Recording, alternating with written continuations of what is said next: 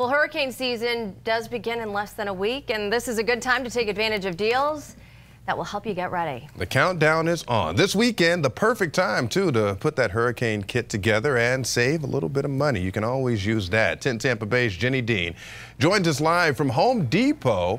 She's inside the store now. You were in the parking lot moments ago. What's new this year, Jenny? Uh, there's all kinds of new stuff this year, but first let's talk about some of the main items that people think about for the hurricane tax-free holiday. Of course, you got your generators, you got some of the usual items like flashlights, batteries, coolers, little portable ice packs. These are all the things that you normally think of, but really new this year is they're going to do uh, an offer tax-free on pet items. We got to think about our little furry friends. And our chief meteorologist, Bobby Deskins, actually, have, they, our meteorologists have been putting together all of these YouTube videos videos of hurricane hacks. Here's a look at his one on pets. A current picture, identification tags, immunization records, a carrier or kennel, collars, leash, bowls, food, and don't forget any medications.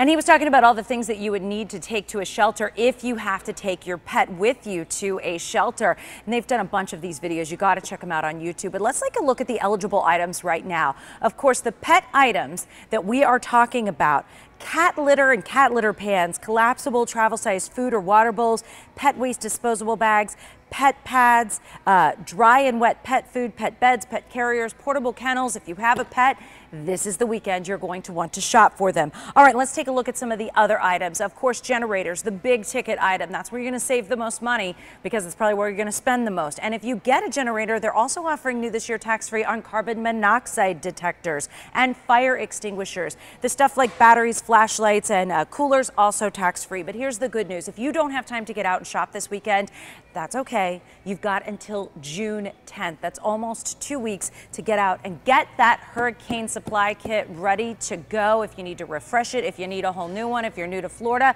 get out here, grab the list. And this is also a good time to have that 10 Tampa Bay app handy because if you do, you'll be able to have that list of items that are all tax free right in the palm of your hand while you're out shopping so you'll know exactly what you need to get.